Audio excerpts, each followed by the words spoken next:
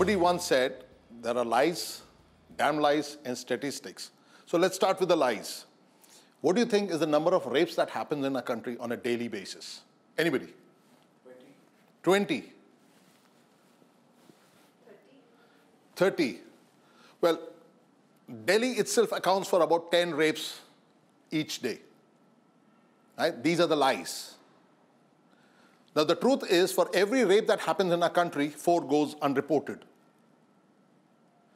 In 2016, we had 108 rapes. 2017, we probably touched about 115. And each year it grows. For some reason, since 2019, it has dramatically come down to 87 or 89 as per the government figures, though no explanation was ever given. However, even if we take it as on an average as 100 rapes a day, the lies are that it's 100 rapes uh, per day. The truth is, it's 500 rapes happening in a country on a daily basis. Now, these are just rapes. What if we talk about everything other than rapes? Child trafficking, pornography, prostitution, dowry deaths, kidnapping, abduction, acid throw. That accounts for more than 35,000 cases each day. Again, reported. Unreported, do your maths. Oh, I forgot to introduce myself. My name's Colonel Rohit Mishra. I served in the Indian Army for more than two decades. That was the easy part. Why was it easy? Because while serving in the Indian Army, whether you were doing counter-terrorist operations or you were there on the LC firing at your friendly neighborhood, you knew who the enemy was. Everything was very well demarcated. The LC was demarcated. You knew the uh, weapon he carried. You knew that he looked like a certain manner, a certain way. You knew the uniform he wore. So my job in the army was very easy. He shot at me, I shot back. He tried to kill me, I did the same. Enemy was known. The difficult part was when I came over to the civvy street, about five years back. And a personal incident actually led me to believe the fact that it's very, very difficult to survive on the civvy street then it's on the LC. LC is very safe. It's this place here, walking on your streets, surviving the streets, which is difficult. And I'm not talking about you being run over by a car or a truck.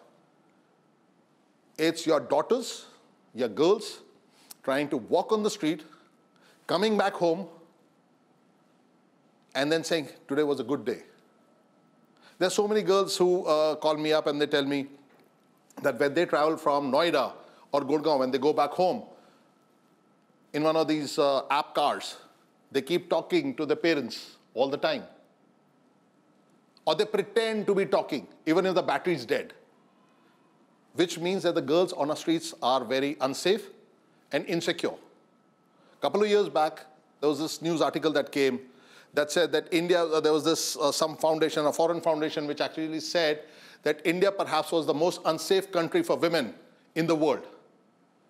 We went hammer and tongs against that particular report and we said, no, it's not true. We tried to brush things under the carpet. We never addressed the elephant in the room. We tried to put the elephant in the closet, saying everything is fine, everything's hunky dory.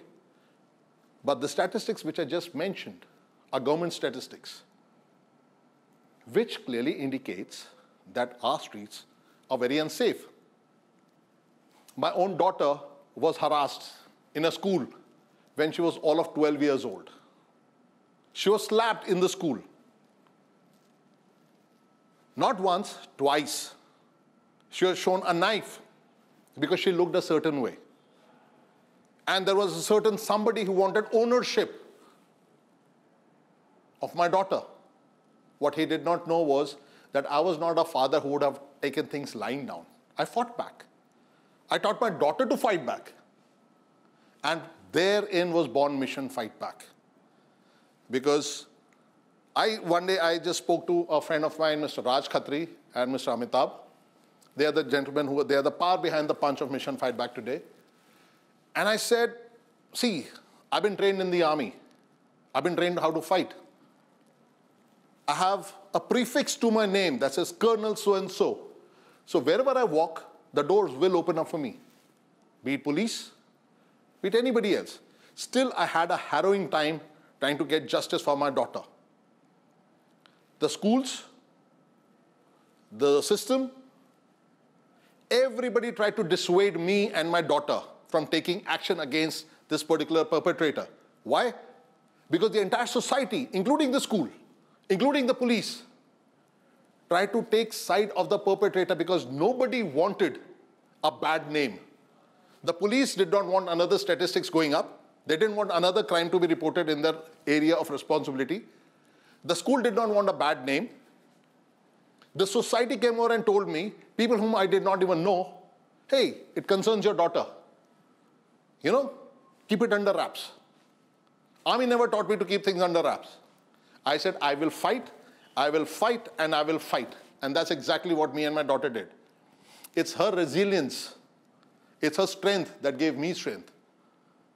And that is the time I realized what is it that we do in our country for the safety of our own girl child.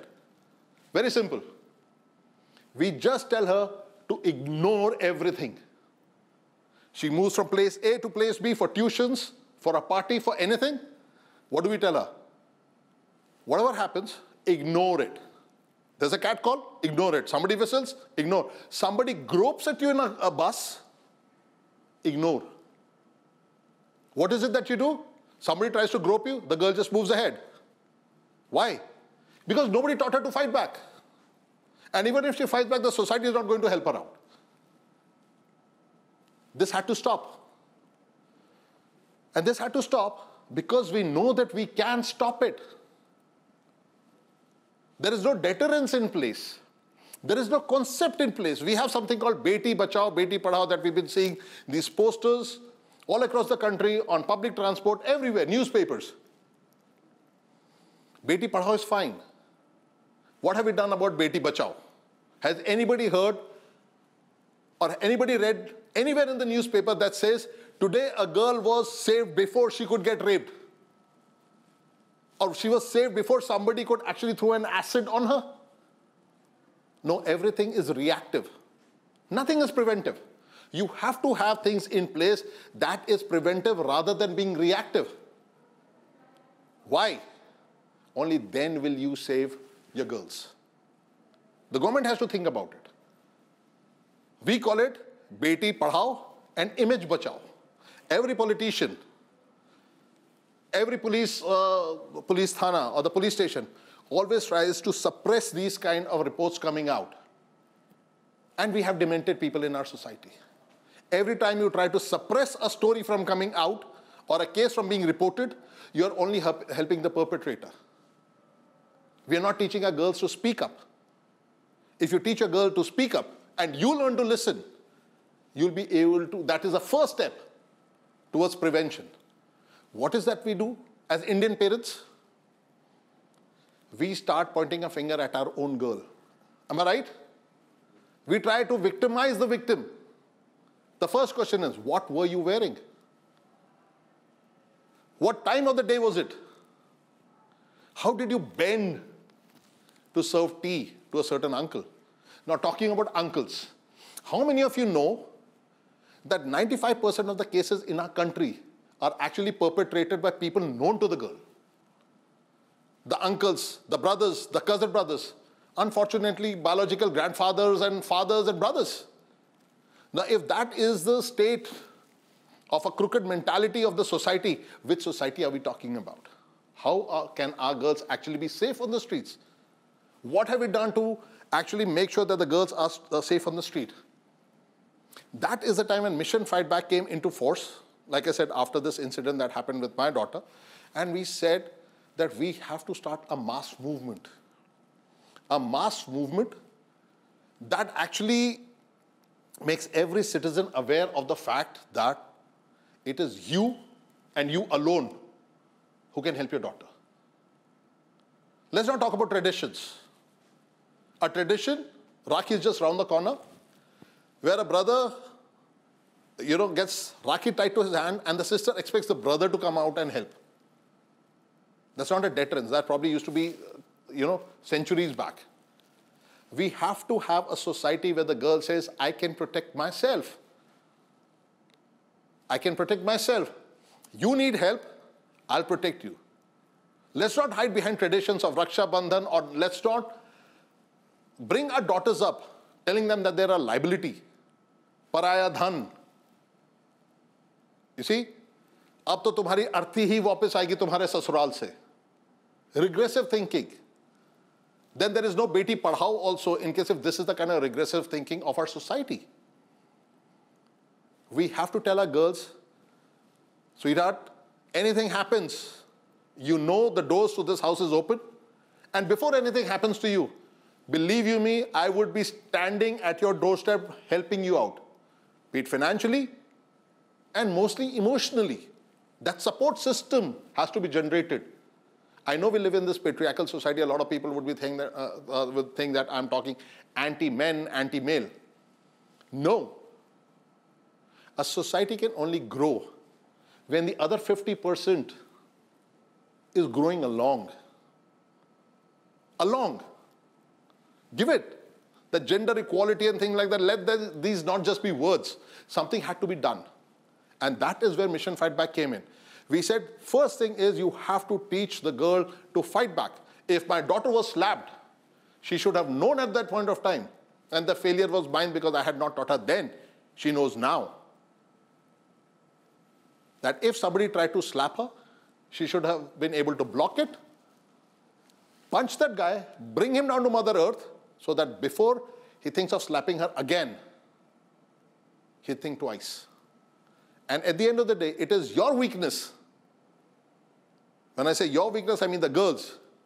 The weakness of the girl for not speaking up, the weakness of the girls for not fighting back, that actually emboldens the perpetrator. So the perpetrator actually gains his strength from the weakness shown to him by the girls. He's just as scared the first time. You do not react the first time, every day he becomes stronger, and you're the one who's making him stronger. So, a movement had to be started. And that is exactly what Mission Fight Back aims to do.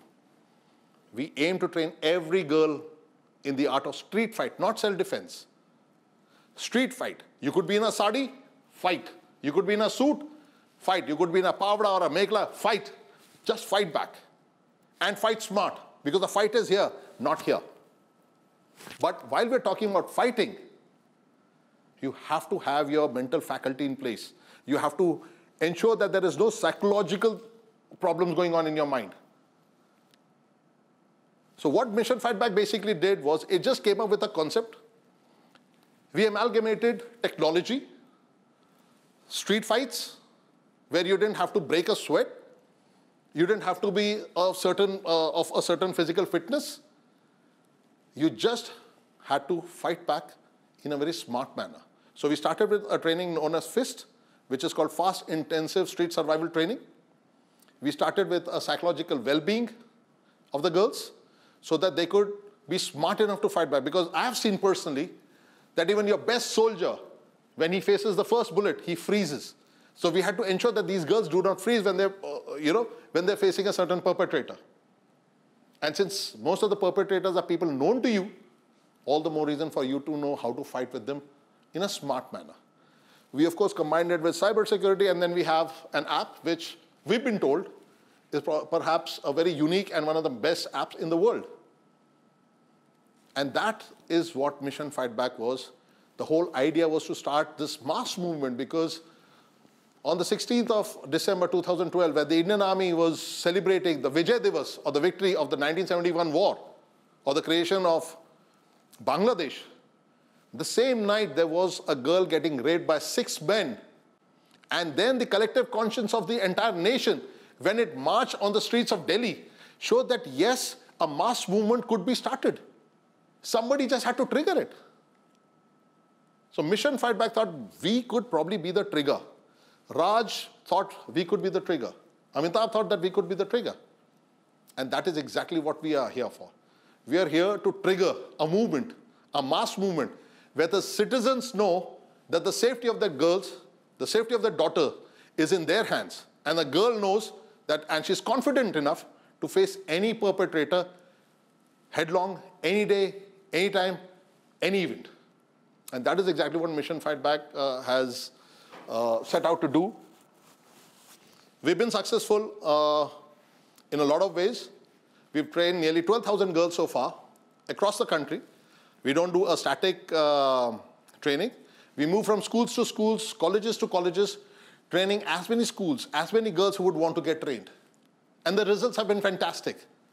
So our experiment, which started with Mission Fight Back, has actually gone ahead and shown us that if you set your mind to something, true empowerment is this when a girl feels confident of her own body, she feels confident about her own mind, and she says, I can take on any challenge thrown at me. Well, that's Mission Fight Back. And we intend to be in your city very soon, once the COVID is over, and we intend to train every girl. And every girl that we train, we expect her to train so many more and start a mass movement. Jai Hind.